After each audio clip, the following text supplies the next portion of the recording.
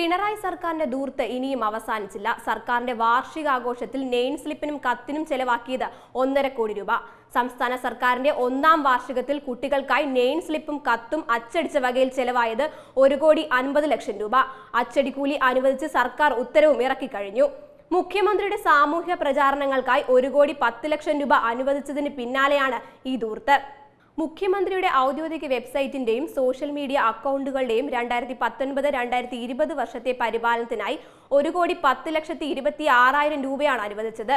ഇത് സംബന്ധിച്ച ഉത്തരവ് കഴിഞ്ഞ തിങ്കളാഴ്ചയാണ് പുറത്തിറക്കിയത്. സീഡിറ്റിന്റെ ആവശ്യപ്രകാരം ജീവനക്കാർക്കായി എൺപത് ലക്ഷം ലൈവ് സ്ട്രീമിംഗിനായി അഞ്ചര ലക്ഷം നെറ്റ്വർക്ക് ഇന്റർനെറ്റ് അടക്കമുള്ള ആവശ്യങ്ങൾക്കായി ഏഴര ലക്ഷം എന്നിങ്ങനെയാണ് അനുവദിച്ചത്. ഇതിന് പിന്നാലെയാണ് മന്ത്രിസഭയുടെ ഒന്നാം വാർഷികം പ്രമാണിച്ച് സ്കൂൾ വിദ്യാർത്ഥികൾക്ക് നെയിം സ്ലിപ്പും കത്തുകളും വിതരണം ചെയ്ത വകയിൽ ഒരു കോടി അൻപത് ലക്ഷം രൂപ അനുവദിച്ചത്. രണ്ട് കോടി നെയിം സ്ലിപ്പുകളും നാൽപ്പത് ലക്ഷം കത്തുകളുമാണ് ഒന്നാം വാർഷികമായ രണ്ടായിരത്തി പതിനേഴിൽ അച്ചടിച്ചത്. നെയിം സ്ലിപ്പുകൾ അച്ചടിച്ച വകയിൽ ഒരു കോടി എട്ട് ലക്ഷം രൂപയും കത്തുകൾക്കായി നാൽപ്പത്തി ആറ് ലക്ഷം രൂപയും ചെലവാക്കിയെന്നാണ് Kerala books and publication society സമർപ്പിച്ച കണക്ക്.